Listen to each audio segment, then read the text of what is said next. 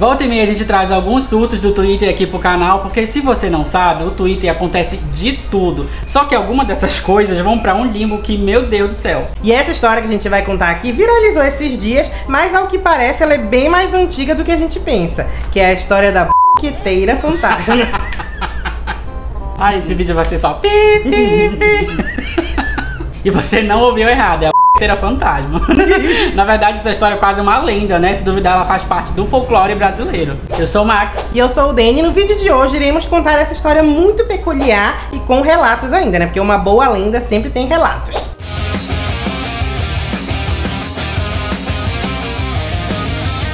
E antes de começarmos, já tirem as crianças da sala, porque se você ainda não notou, o nosso canal não é para criança. E pelo amor de Deus, olha o tema desse vídeo. E já curte esse vídeo também, porque ele, assim como muitas coisas que a gente traz aqui do Twitter, é um surto. E tudo começou quando a arroba Clara10 postou no Twitter, né, se alguém conhecia a história da b***teira fantasma.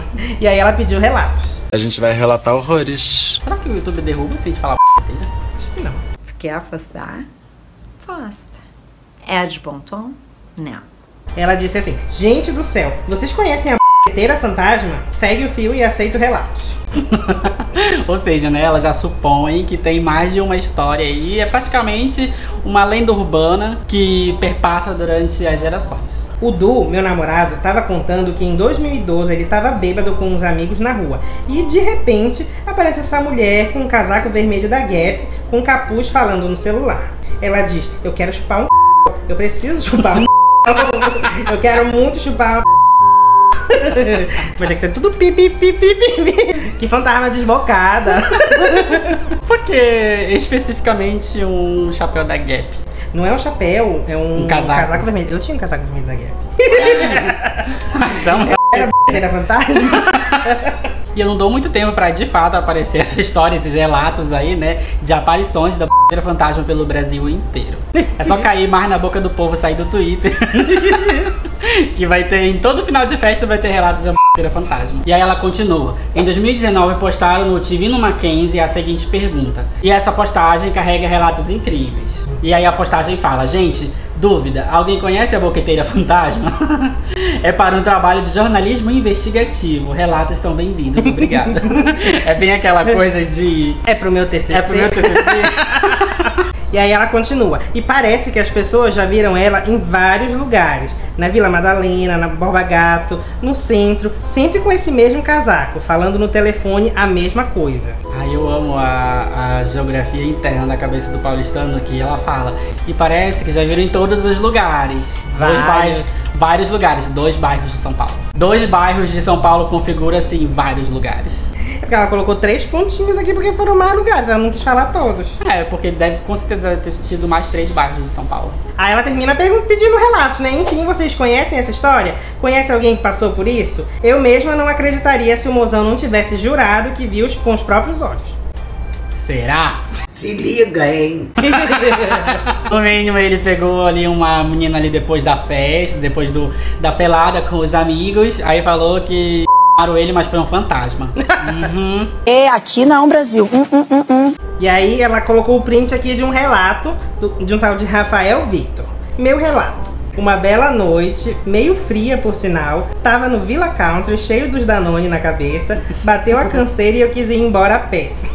cheio dos Danone na cabeça, que porra de expressão. É coisa de hétero. É expressão de hétero, não faço ideia, tá, gente? Deixa aí nos comentários se você sabe o que significa isso. Até porque isso é um relato jogado no Facebook. Tem um lugar mais cheio de hétero do que o Facebook. Estava eu atravessando a praça da frente do shopping West Plaza. Estava eu pleno numa tarde. Vejo uma mulher gritando no celular. Queria tanto chupar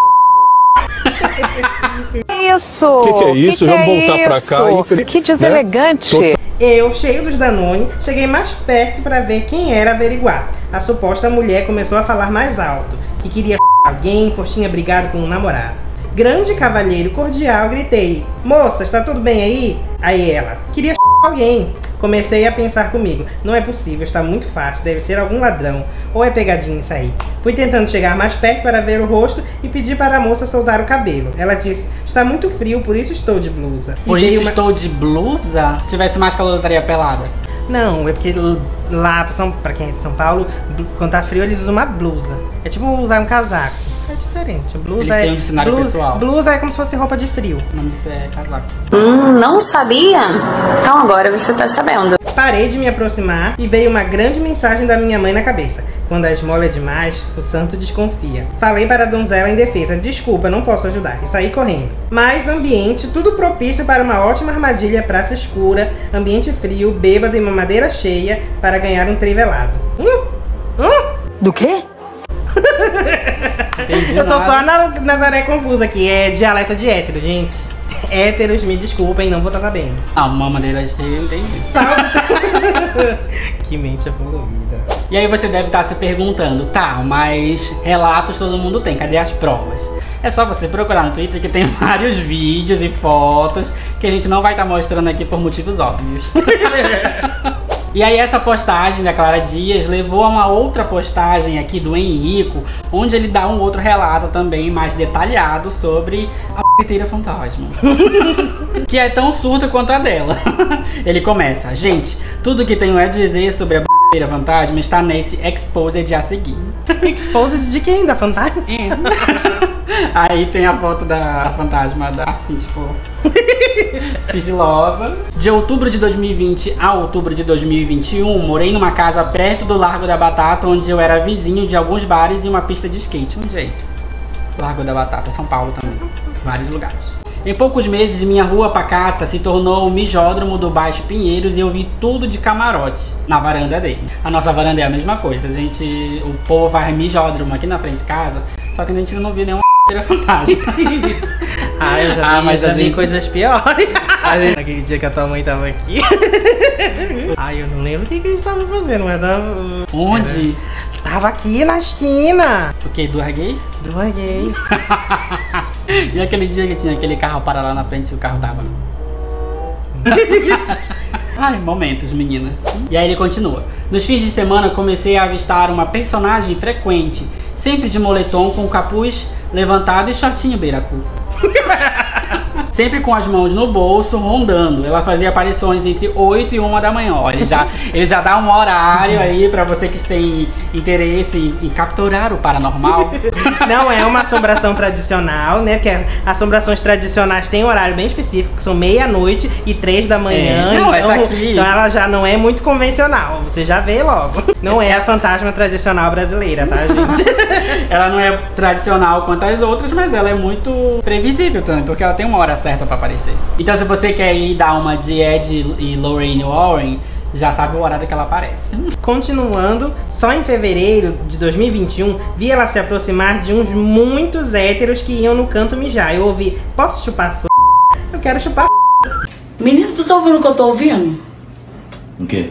Gente, eu não consigo não ir. Na entonação dela, o quero tinha mais é que ser preciso, tamanha sede. O cara achou que ia ser assaltado e saiu correndo subindo o zíper. Nota-se que essa história sempre acontece com héteros, né? Ou seja, A coisa mais comum é hétero mijar em calçada, né? Gays, gays são mais recatadas. ah, eu tenho horror a, a mijar em, fora de casa. Eu tenho horror. Fora de casa, fora de um banheiro, no caso. Mas teve outra madrugada que a vi de papo com um cara no mesmo muro do mijo, os dois olhando pra mim de vez em quando. E eu, ingênuo, saí da sacada para pegar meu celular e voltei. No que fui olhar, estava a já em curso. Tua boca cabe esse microfone todinho. Bota aqui pra ver se não cai. Ingênuo, gay, pelo amor de Deus. Ah, ele já tava esperando. Ele, ele, já tava tá, esperando. ele, é saiu- acostumado já a ver esse tipo de coisa na Ah. frente da casa dele, ingênuo. Ele saiu justamente pra dar a deixa, olha. Podem fazer aí, mas. Voltei para dentro, mas já era tarde demais. O cara não tancou a posição. Vi ele empurrar ela e subir as carças. Enfim, ao longo dos meses, o fluxo na rua foi aumentando e ela foi vindo menos. Me mudei daquele inferno e não pensei mais nisso, até que.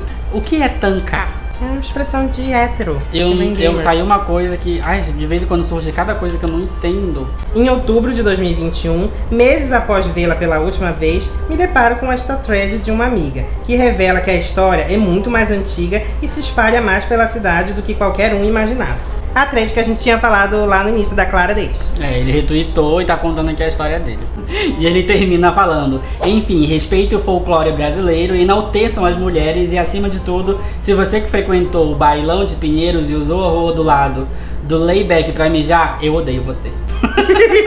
Aí uma pessoa aqui postou um vídeo nos comentários que esse eu acho que dá pra colocar. Frente, tirando foto minha. Mano, Pra não vir mexer com a gente. Ó quem tá ali, c... a b****eira fantasma. Lá, olha lá. Ela não é fantasma. Ela não é fantasma.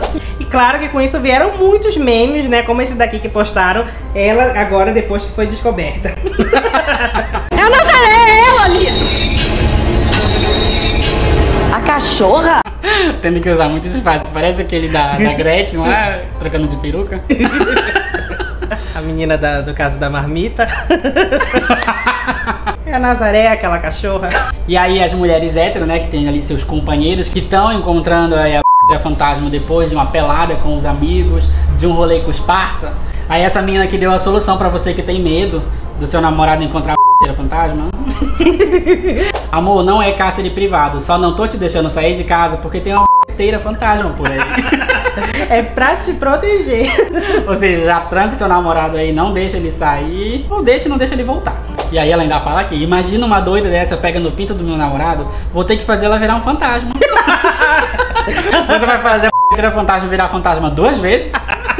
Se não era fantasma, agora vai ser. Aí a pobre está apenas fazendo seu trabalho ali. Ela, ela pegou obrigado o namorado da outra, olha. E enfim, gente, tem relatos aí pra lá dos meados de 2011, 2012. Então é uma história bem antiga. E não, não é só em São Paulo que tem essas histórias, tem de outros lugares aí. É porque paulistano tem a, o péssimo hábito de dizer que o Brasil inteiro existe só lá, no, lá em São Paulo. É igual paraense com o norte, só existe lá. Enfim, gente, esse foi o vídeo. Se você conhece outros relatos de lendas urbanas assim absurdas como essa da Teira fantasma, deixa aí nos comentários pra gente fazer mais vídeos sobre o tema. Afinal, estamos em outubro, que é o mês do Halloween, mês das bruxas E e, pode- mês dos exorcismos, que a gente vai exorcizar um demônio da presidência esses dias. Inclusive, quando esse vídeo for ao ar, né, eu acho que a gente já vai ter resposta se foi em primeiro turno ou não.